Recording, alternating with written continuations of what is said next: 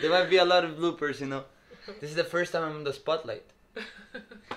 Maybe I will keep that. Maybe you can. Okay, that sounds very good. Hello, miracles. How are you? This is Juliet. I'm here with the next episode. I have my dear friend Jose. Jose and I we met at Finca in Colombia. Um, he's a musician and he um, practices Yahe medicine like me. We are besties. We are brother and sister because Yeah. it's so funny. Every time you talk about Finca, it's like it's a brother, it's a sister. It's a bro- all of them are brothers and sisters. Yeah. but the funny part is, it's not real. You know, I mean, we're soul brothers and soul sisters. So um, Jose is visiting LA, and um, we get a chance to meet, and I just find out some new stuff about him, which I didn't know. He told me he is a Tibetan medicine practitioner. I have no idea what that is, so I wanted to ask him what that is. First of all, tell me what is Tibetan medicine? Okay, so what is Tibetan medicine? it's we could start from so many different places, you know, because Tibetan medicine actually, it is truly you could say a spiritual practice. Mhm. It is truly a spiritual practice, which was has been aiding the monks and the spiritual practitioners, especially from Tibetan Buddhism, of course, and people from the Tibet and also Bon traditions, which are like old ancient shamanic traditions Mhm. of of spiritual traditions and also medicine traditions from the Tibet. But it later developed into more and more and more uh, a used common medicine for the people. But uh, initially it was a medicine kept really secretive, secretly, I guess, Mhm, mhm. in monasteries for the monks to be used. Mhm. Same with astrology; they would Mhm. mix like astrology and medicine um, for just their spiritual practice. And monks are always exceeding. Monks are like having really tough lives, so they have they need like a science of life, a science of healing, so they can promote their longevity, promote their good the good health, the like peace of mind, so they can keep doing their meditation. And stuff. now this practice is more available for the regular public so now the practices are more available. and to us. And to us, Westerners. yeah, no, we're really lucky right now because it was truly the Dalai Lama who, uh, the 13th Dalai Lama, and now it's the 14th Dalai Lama. The 13th, he opened something called the Tibetan Medi- like Medical Astro Institute. Mm. And so when he opened that, then college came and the research centers came, and then that was in Tibet. Then Mhm. when Dalai Lama was uh, basically thrown away, he had to flee Tibet and went to India. Then they moved all that to India, and from there it started to grow, grow, and get like recognition in the European countries and now America. So uh, I'm assuming it's all holistic, natural stuff uh-huh. that you Tibetan medicine Tibetan medicine. is about, right? It's using herbs, using Exactly. oils, and all that stuff. Yeah. I know. Um, I'm a huge fan of Dave Asprey, yeah. Mhm. and I'm a big. I'm big on hacking and keto and all that stuff that you guys all know. I know um, Dave Asprey find out about um, the butter coffee. Uh-huh. He kind of like he went to Tibet and he learned that from Tibetan people. There's this thing called the yak butter. The yak butter. So I know also the fat is really good for your. There's Body. something you don't know about the yak butter though. Tell me. Okay, so there's something very important. Give me fat. Give me fat. I, Okay.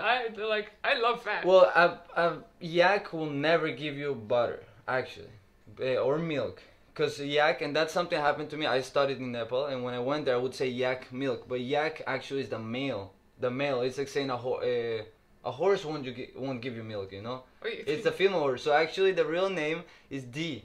Yak is a Tibetan word, and then the for the female, the one that actually is giving the mil- milk is Dri. Okay, so tell me, tell me, how beneficial fat is for us because I know it feeds the mitochondria. Uh-huh. It it gives energy. It's a it's a jet fuel instead of, you know, using the carbs as That's the energy as source. every two hour you eat. You you know like Uh-huh. keto diet is mostly on high fat and protein and everything, but um, in the traditional aspect of Tibetan medicine, where do they use the fat? Like how fat is incorporated into daily life for Mhm. longevity? Like, what's the role of fat, let's in Tibetan medicine? Exactly. That's what I want to know. So, Finally, I got my question out. Yeah, that was the, we refined the question very nicely. I'm new to this, so I don't Yeah, know. tell I, me about it. I'm in the spotlight now. I, w- I was doing this. I'm like, you gotta do a video with me. You gotta do it. He's like, okay. So. No, it's super cool. No, that's a great question. Um, I've been into fat also. I'm I'm not in. I don't practice keto. Let's say as per se, I don't Mm. practice fully like super super high fat for different reasons, just for my personal body constitution and what I'm looking for. But fat has a huge, tremendous role in in all Eastern medicines, like Mhm. all Eastern medicines, and we can include Ayurvedic medicine and Chinese medicine. Um, fat is basically a longevity promoter. Why? Because we talk about elements in Tibetan medicine. So Mhm. we talk about the five elements we all generally know: earth, water, fire, air, Mhm. space elements. And then when it comes to oil, oil has, let's say, we could say the earth and the water element. So it brings us, let's say, a certain quality that roots down and nourishes. Like that's the earth. The earth is nourishing, it's grounding, and the water element is bring, which is the liquidity. Let's say the the liquid movement of oil is deeply nourishing, deeply penetrating into the body and the tissues and and the It brain. makes it more lucrative. It's like the car doesn't run without oil. Yes, yes, exactly. It's like the oil that is working on the car. Then there's different also types of fats and how we use them and what periods of, of the year we use more of them, let's say. But when it comes to to these two elements and the fat itself, we want to control for longevity, for Mhm. longevity and for nourishing the body and for controlling all kinds of like factors like hormonal imbalances, chronic illnesses, and oh, you, name it. You know, so many things.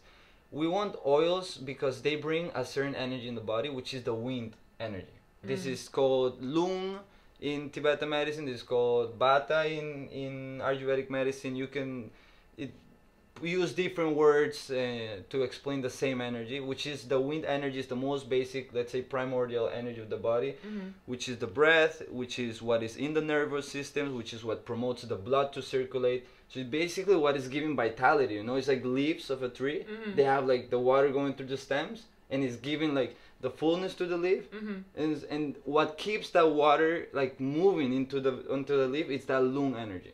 So how do you incorporate fat into your daily life? What do you What do Mm. you use? That's a wonderful I mean, we, question. we, we live in America. Like, how do people get access to like what should we buy Okay, so what should we buy?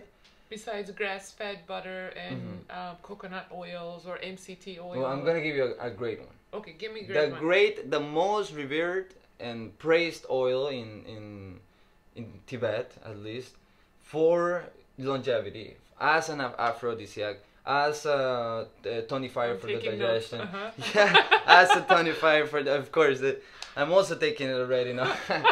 As a toni- I will I will take a gallon a day. no actually the doctor with whom I've been studying he says um, use sesame oil and, and it's written on I the root heard I do with sesame oil. I heard. oil for the mouth yeah, yeah I, I oil pull every day and I use sesame oil. But how do we take the sesame oil? We just take it. You out? can actually use it for your coffee. You can actually use it for a smoothie. You can actually just take the pure And- organic sesame oil, Oh, cold I'm writing that a teaspoon. You can take three teaspoons a day. Three, one teaspoon three times a day. So, one teaspoon, one teaspoon three times a day. Yeah, that's really warming in quality. Like, it warms up the blood. It warms up the digestion. It gives strength to the body. Like for winter times right now, it's really good.